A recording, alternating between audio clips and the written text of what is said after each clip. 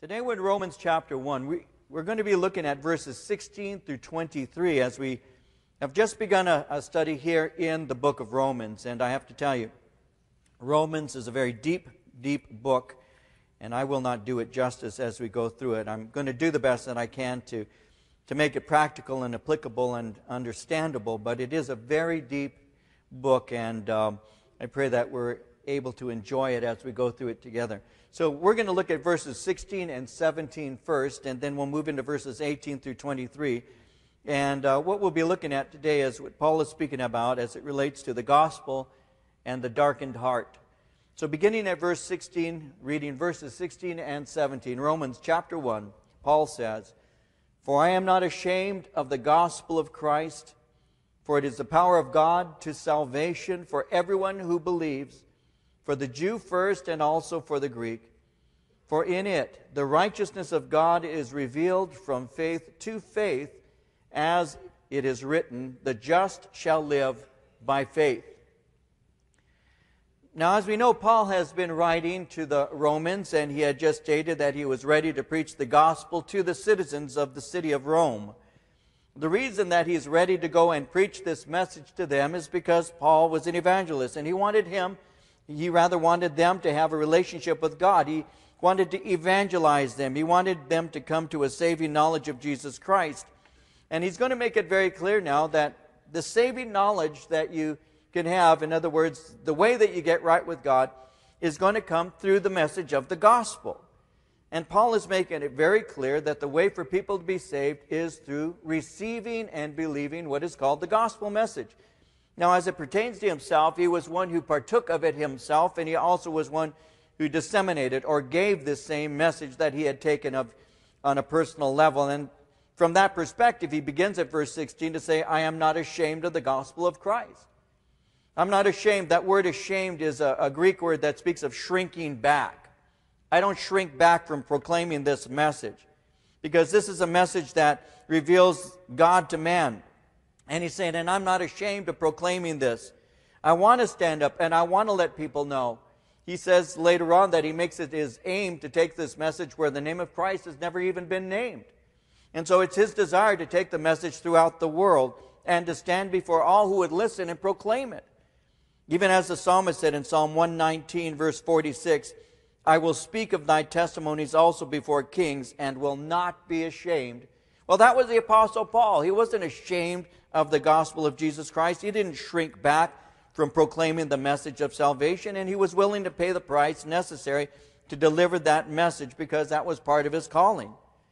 We need to remember that at that time in Rome, the average person actually considered the gospel to be irrelevant. The atmosphere was not necessarily open.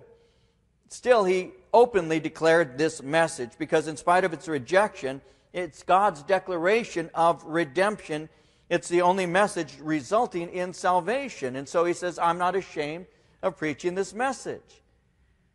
Now, some today seem to be a bit ashamed of proclaiming this message. Sometimes it seems that the world that we've been sent to declare this message to, that the uh, culture of the world, the atmosphere of the world being so antagonistic to the gospel, well, sometimes it seems that the world is winning this spiritual war. And because that's true, we can become intimidated. We can be silenced and sometimes even a bit embarrassed to be associated with Christianity. Much is done and said in the name of Jesus that can cause you to feel a bit embarrassed.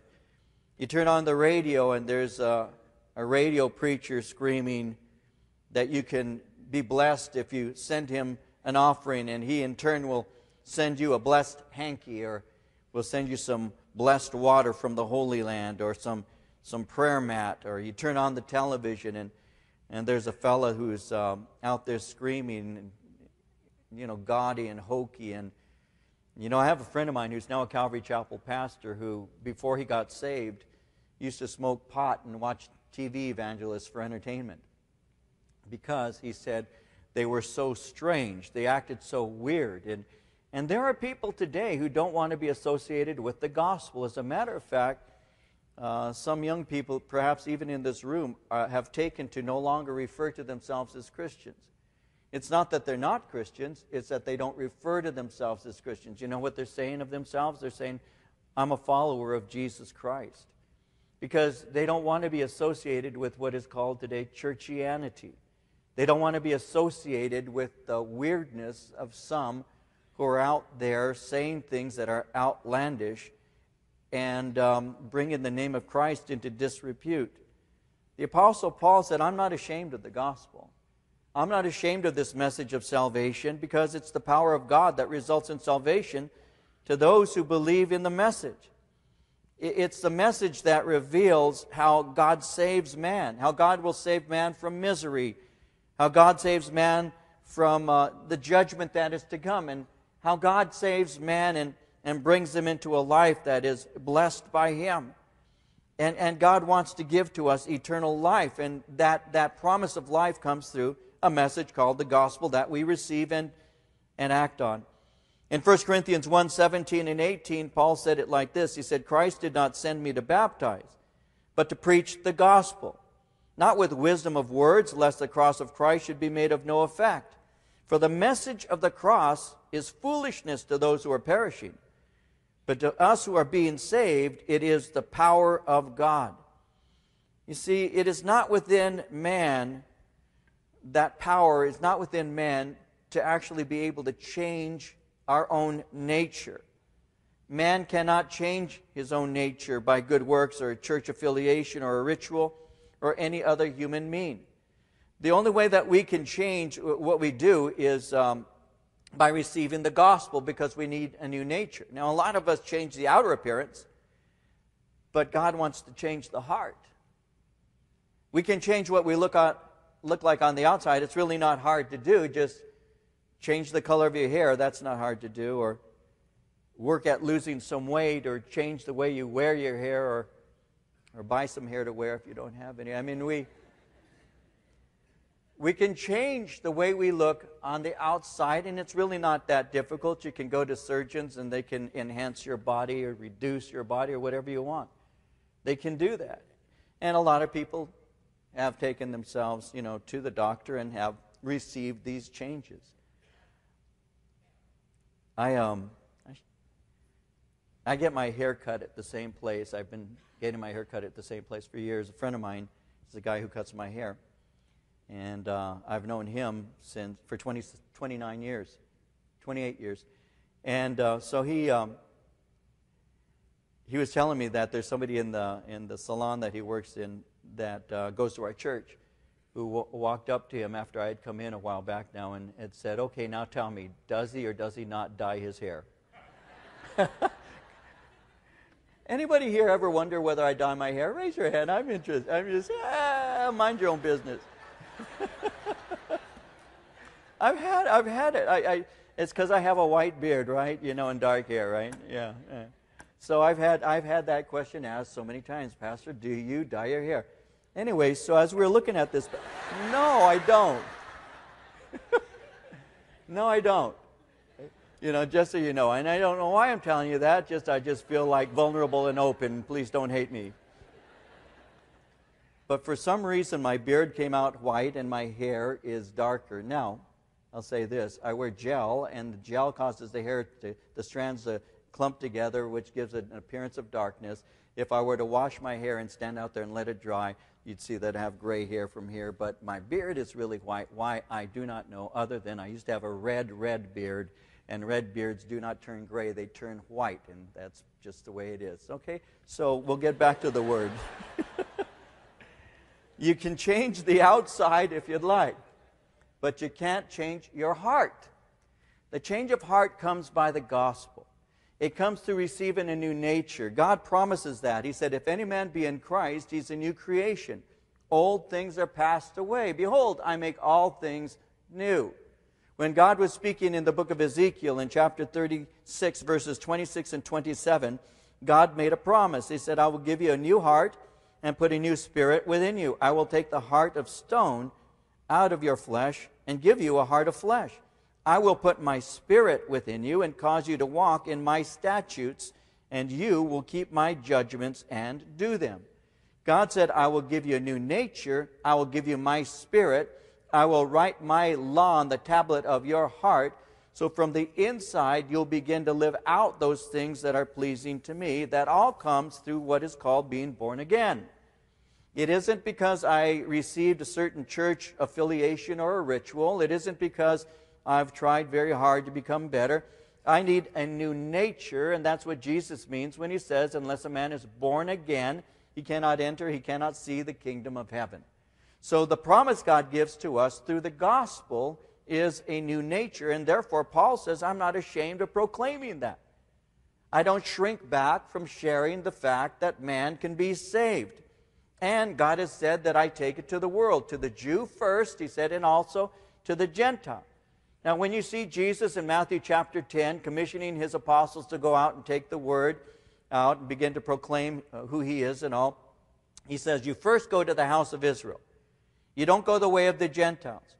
But later on, he expands that commission. You shall receive power. After that, the Holy Spirit has come upon you. You shall be witnesses to me in Jerusalem, Judea, Samaria, and unto the uttermost parts of the earth. When Paul would go in the book of Acts after being saved to proclaim the message, he went first to the synagogue and then he would speak to the Gentiles. That is the rule, and that's how it was. And so, from the very beginning, the house of Israel had an opportunity to hear a message of the gospel, a message of salvation. So he says, You take this message out. He said, I'm not ashamed of preaching to my fellow Jews, but I also will take this message out to the Gentile. And he says, Because it's in this message, notice verse 17, for in it the righteousness of God is revealed from faith to faith, as it is written, the just shall live by faith. The gospel reveals the righteousness of God. The righteousness of God is given to us when we receive Jesus Christ as our Lord and Savior. How can a man's, man be changed? How can a woman be changed? By receiving Christ, and God will take that which was at one time declared to be unrighteous and will give to you his righteousness that comes through the gospel of Jesus. 2 Corinthians 5:21 says God made him, God made Jesus who had no sin to be sin for us so that in him we might become the righteousness of God. Jesus became the sin offering, taking away the sin of the world. I receive Christ as Lord and Savior. He takes my unrighteousness and gives me robes of righteousness. That all comes through the promise of the gospel. It's revealed, he says in verse 17, from faith to faith. It is shown to be by faith and not by the works of the law. Abraham the father of the Jewish nation, was justified by faith before the law was given. We'll see that in Romans chapter 4. So it is the pattern of his faith that all people are to follow in order that they might be saved. You see, faith in the old covenant led to faith in what was revealed in the new covenant, which is Jesus Christ. So it's this gospel message that has the power of God that results in salvation. But there is a condition. It's not just that I hear this message, it's that I receive and believe and act on the message that determines whether or not I'm saved. Romans 10 9 and 10 says, If you confess with your mouth the Lord Jesus and believe in your heart that God has raised him from the dead, you will be saved. For with the heart one believes unto righteousness, and with the mouth confession is made unto salvation. So the gospel of Jesus Christ changes a life, the direction and the manner in which it is lived. And that's why he says in verse 17, and the just shall live by faith. And so we put our faith in Christ, we're born again, and our life now begins to reveal who we worship by the way that we live. So this is all found in verses 16 and 17. Now he moves on into verse 18 and begins to speak concerning the guilt of mankind. He says in verse 18, The wrath of God is revealed from heaven against all ungodliness and unrighteousness of men who suppress the truth in unrighteousness. Because what may be known of God is manifest in them, for God has shown it to them. For since the creation of the world, his invisible attributes are clearly seen, being understood by the things that are made, even his eternal power and Godhead, so that they are without excuse. Because although they knew God, they did not glorify him as God, nor were thankful, but, be- became futile in their thoughts, and their foolish hearts were darkened. Professing to be wise, they became fools, and changed the glory of the incorruptible God into an image made like corruptible man, and birds, and four footed beasts, and creeping things. So he begins to speak concerning the condition of the world. He's going to speak concerning Gentile guilt. Then he's going to speak concerning Jewish guilt. Then he's going to speak and say that all have sinned and fall short of the glory of God. So he begins here speaking concerning Gentile guilt. Now, in verse 18, notice how he begins by saying, The wrath of God is revealed. There are a lot of people who have a difficult time, and perhaps it's understandable to some degree, with the concept of God actually having wrath, that God has indignation, that he could actually become angry especially if they are saturated with the New Testament doctrine of grace and they don't have a well grounded concept as it relates to that subject. So for them, it's difficult. There are those who would say that God in the Old Testament is a God of wrath, but God in the New Testament is a God of grace and mercy. But the problem with that is that there's only one God. And so God is the same God in the Old Testament as he is in the New Testament. When you look at the wrath of God, you see that the word wrath is an old English word defined as deep, intense anger and indignation.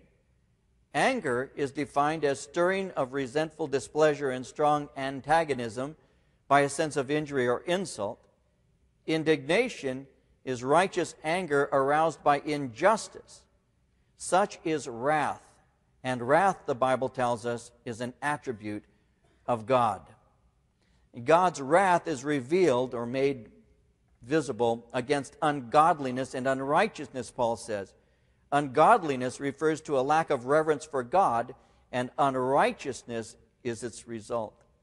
When you look at the Old Testament, you will see that the wrath of God is revealed often.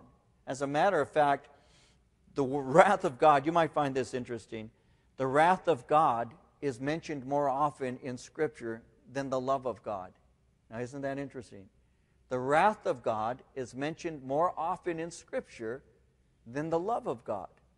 And you see many times in the Old Testament the examples of the wrath of God. You see the wrath of God when he, when he cast uh, Adam and Eve out of the garden. You see the wrath of God revealed when he brings the great flood on the earth and brings judgment on people who have rejected him. You see the wrath of God revealed at the Tower of Babel you see the wrath of God revealed at the destruction of Sodom and Gomorrah and the small cities surrounding them. You see the wrath of God in, in Exodus 14 when he destroys the armies of Pharaoh in the Red Sea.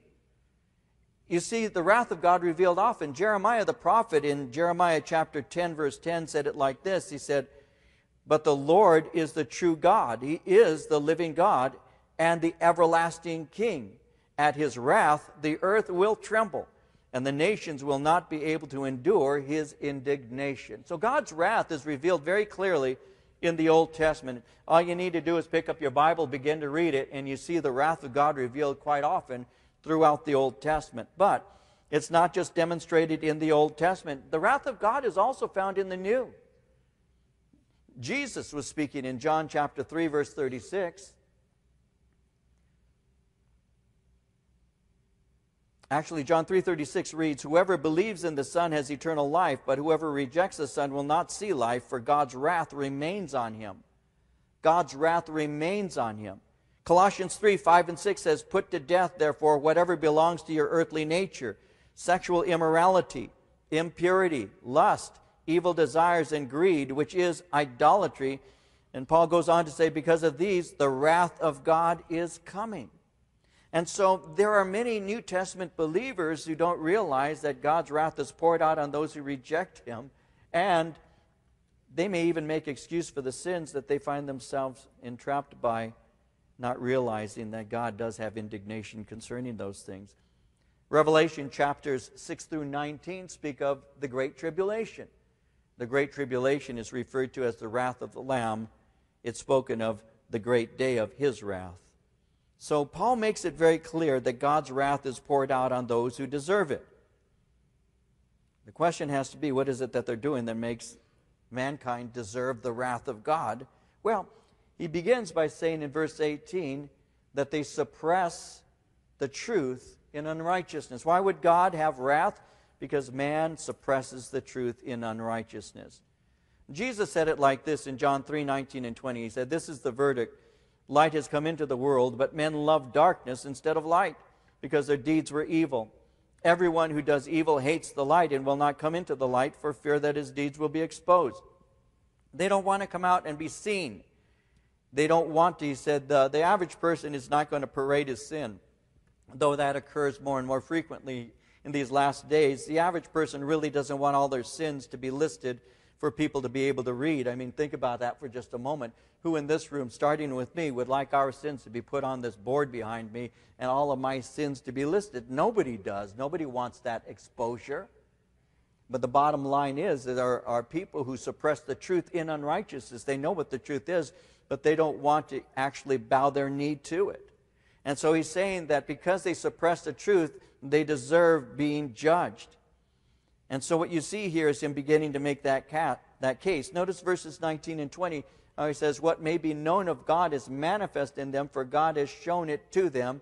For since the creation of the world, his invisible attributes are clearly seen, being understood by the things that are made, even his eternal power and Godhead, so that they are without excuse. So he begins with conscience and he begins with creation. Conscience and creation. He speaks of an innate knowledge. What may be known of God is manifest, he says, in them, for God has shown it. The gospel is what is called special revelation. It gives to us what is called complete revelation. But even if some have not heard the gospel, they still have an innate knowledge of his existence. Man has the facilities of reason, of moral law, of conscience, and that informs man. And these are given to us by God. They didn't originate with us. There's something that God has placed within us. Like it says in Ecclesiastes 3:11, he has made everything beautiful in its time. Also, he has put eternity in their hearts, except that no one can find out the work that God does from beginning to end. He's put eternity in their hearts. There's this innate knowledge that there's something greater than myself. There's an awareness that there's something out there. And it also gives rise to something called a conscience. Now, we're living in a time when some do not seem to have a conscience. As a matter of fact, it's a growing phenomena that is actually, it seems to be accelerating a lack of conscience, a lack of a sense of shame, a lack of feeling bad about things that have been done, a dulling of the conscience. Uh, um, we'll see it later on where, where, where it's, it's actually referred, by, referred to by Paul as, as a conscience that has been branded.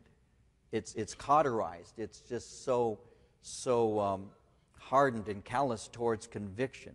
We definitely, you know, without going off into a long tangent concerning that, live in a time when, when uh, the word shame, uh, many people don't even know what that word means because they never experience it. They don't have a sense of shame. What they do is just fine with them, and it doesn't bother them at all what they do. They say they're just being true to themselves and just being real, and they have no shame. So they do things that are that ought to cause somebody to blush, but it doesn't anymore. As a matter of fact, it's been said that this is, a, this is a time, we're living in a time when people have forgotten how to blush. Immodesty doesn't cause people to blush. Profanity in public or being abusive in public doesn't cause people to, to blush. People, you know, having uh, physical relations out in a park in front of witnesses who come by with their children doesn't cause them to blush. And if you say, could you, you know, do you have to do that? Then they think that there's something wrong with you for actually confronting them for doing something that was used to be improper. So we're living in a time right now that the church itself has forgotten how to blush. Marie and I watch old movies because we're old people. And um, there's some people out here, I can see that you, you, you dye your hair, but I know you're old. Um,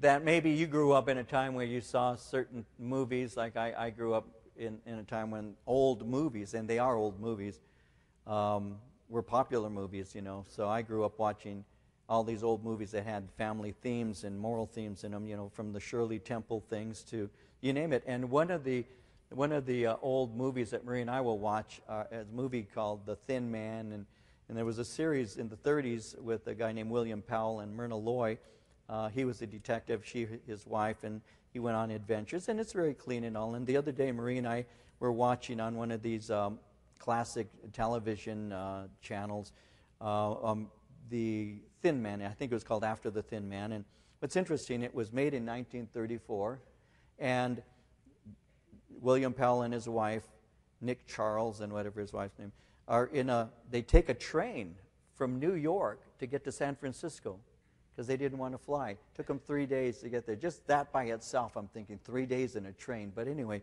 so they come to San Francisco. When they arrive in San Francisco and they're about to disembark from the train, and they've packed all their bags and everything, Myrna Loy uh, gives her husband a kiss. And there's a, a fellow who works in the, at the train station standing there looking in the window when she kisses her husband. And the man wags his finger at her like you shouldn't do that. And she says, It's okay, we're married. And I turned to Maria and I said, That had a message in 1934 that today nobody would even understand what that means. They wouldn't even understand what that means because they'd say, What's the big deal in making out in public? They don't have those kinds of morals. And I was saying to somebody the other day, 1934 America, 1934 America was more righteous than the church in 2013. Because 1934 America, you didn't have to explain to them that some things were proper and some things were improper. You didn't have to explain it because the churches still had power and people still listened to what the Word of God had to say in 1934. In 2013, the biggest arguments I get into would not be with an unbeliever. It will be with a believer who says, I have the right to do what I want, and you're bringing legalism into my life. That's the bigger argument today, guys, because people live as they want to, and the fear of God is not in their sight. That is really the emblem of an unbeliever, not a believer.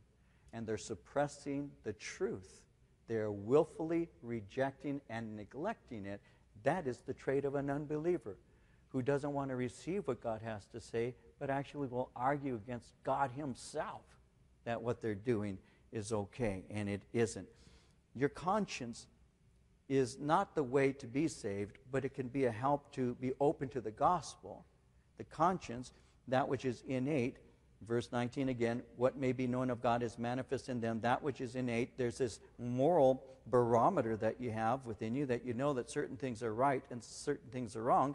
And the argument would be from Paul that God has placed within you the capacity to distinguish good from evil, and uh, that would be called a conscience. It's a moral compass. A conscience alone cannot save you, though, because your conscience is really formed over a lifetime and reflects the values that are taught and are caught. So your conscience may not be bothered at all about something that is actually wrong. If you were raised in a home where your mom never married your dad, chances are you're never going to really think that that's wrong because that's how you were raised.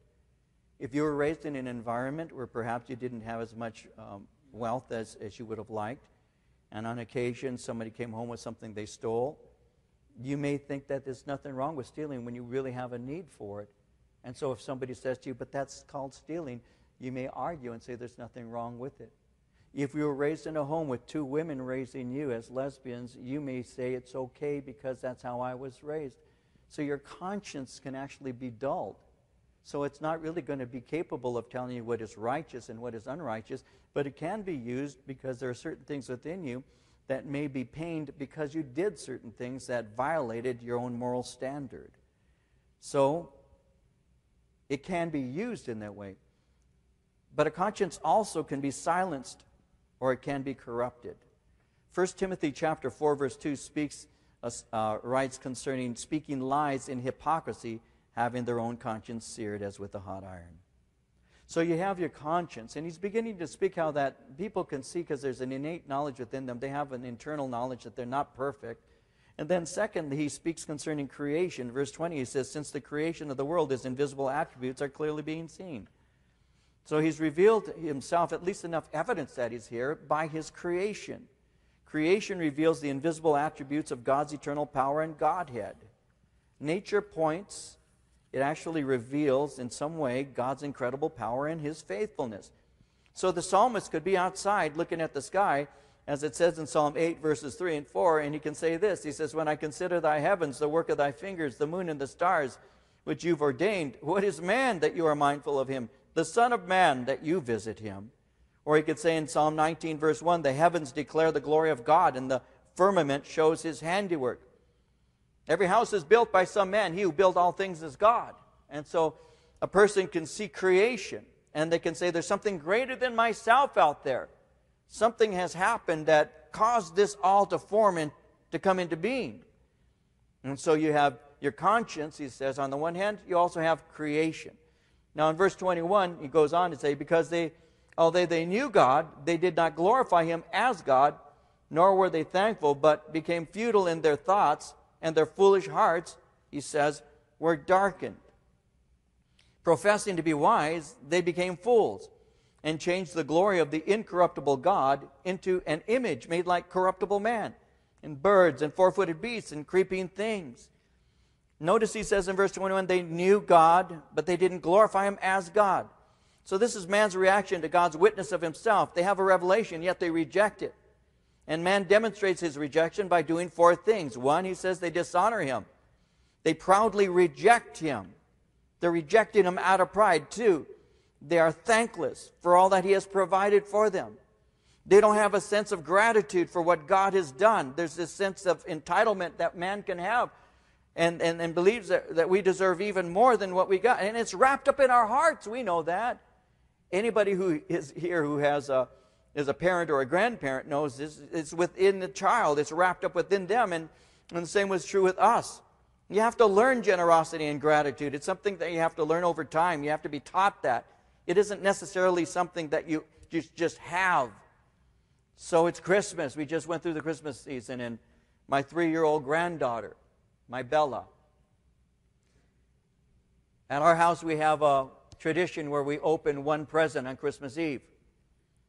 Bella's not satisfied with one. Can we open another one? Can we open another one? So we, we you know, um, you know, yeah. No problem. So the next day, she, she opens the rest of the presents that family bought her. Oh, this is great, drops it. Oh, this is great, drops it. Oh, this is great, drops it. And then says, as all of us has heard, where's the rest? Where's the rest? She even went to the fireplace where we have stockings and starts grabbing the, the stockings to see if there's something inside of that. She's only three years old. But that's human nature. Oh, just what I want. What else do you have? Just what I want. What else do you have? And that's part of human nature. You actually have to learn to be thankful. You have to learn it. it has, it's a lesson that has to be taught to us because wrapped up within our own hearts is, is an attitude of unthankfulness. But we ought to learn to be grateful for the things that God gives to us. We ought to rejoice in the fact that He's provided for us. But He says they've rejected Him and they don't thank Him, nor do they appreciate the grace that He's shown them. He speaks of the futility in their thoughts concerning Him. Man has begun to search for meaning outside of God, and it only results in confusion and vanity, which is when he says their foolish hearts are darkened. Because they refuse his light, his spiritual illumination, the result would be living in moral darkness. When their hearts are darkened, the, the heart is the core of a person's being. It produces the thoughts, the words, and the actions. So when it's darkened, it simply means that we do whatever we feel like doing, and we don't really care how it impacts somebody else. It doesn't matter as long as I'm happy, right? As, as long as I'm satisfied, as long as everything revolves around me, as long as everything that's going on makes me better and feel better about me, then I'm going to do that, right? I mean, that's what we do. So if, if, uh, if what my lifestyle is like is hurting my parents, well, it's too bad. They've hurt me plenty as I've grown up. And so get used to it. If the way that I'm living hurts my friends, if the things that I do and say and the way I treat them hurts my friends, well, They've got to grow up. They've got to get used to it. They've got to accept me for who I am. Or if I'm married and I just don't want to be married anymore, because after all, marriage is supposed to make me happy. It's all about me. And and if, if I'm not happy, then I'll just dump you and find somebody who will make me happy. It's, it's your fault that I'm not happy anyway, so I'll let you go. And it doesn't really matter about the kids, kids who, who don't have a dad or a mom in the house anymore, as long as i am me, as long as I'm happy, as long as everything's going good for me, and, and, it, it's, and, and I'm satisfied, and, and, and I can visit them, I can become uncle dad to them over time, and that's all right. What we have in our society today is an example of the premier idol- idolatry of worshiping ourselves. Narcissism. It plagues our society. This search for making me happy at all costs. Narcissism. The world revolves around me, my desires, my wants, my feelings. What makes me happy is the most important thing, right? That's how a lot of people think. No, the Bible says you're to die to self. Are you kidding me? Why would I do that? Because I've gone through plenty of pain and, and it's time for me to, to actually break out of this shell and nobody's really seen me for what I really am and all the potential I have. No, I've got to pursue me. I've got to be me. It's all about me. The favorite song is Me, Me, Me. I mean, it's all about me. And you want to know something? That's the flesh. That's the flesh. That's the flesh. And I have seen too much brokenness and too many broken homes and too many broken hearts because the, the person wants it all about themselves. It doesn't matter who gets hurt. It doesn't matter as long as I feel satisfied. But the funny thing is, at the very end, these people who gave everything up so they could be happy die alone, broken, lonely, lost, in pain, and nobody shows up at their funeral because the ones that they would have had showing crying and feeling bad, they dropped him out of their life a long time ago. Paul says this is the result of rejecting God, not pursuing Him, dying to self. What happens is you become an idolater. Professing to be wise, he said, you become fools. You change the glory of, of the incorruptible God in, into looking like a man or an animal. In other words, you, you've substituted an idol for the true and living God. And he said, This is what is wrong with mankind. Is though God has revealed through conscience and creation the reality that there's something greater than yourself, He's also given to you a message that declares exactly who He is, called the gospel. And because that gospel has been given to you, He said, Paul said, I have made a choice in the Lord. I have come in the Lord to declare a message I'm not ashamed of. It's called the gospel of Jesus Christ, which reveals the righteousness of God. And that's how you can avoid the other things he lists afterwards by embracing that gospel. But the world that rejects the gospel is settled in the mind of God, has a settled displeasure upon them because they've rejected the light that has been provided, thus choosing to live in darkness, and their lives are a testimony of what darkness actually does. It always corrupts, ultimately. So, we have the gospel that gives us light. May we walk in the light today.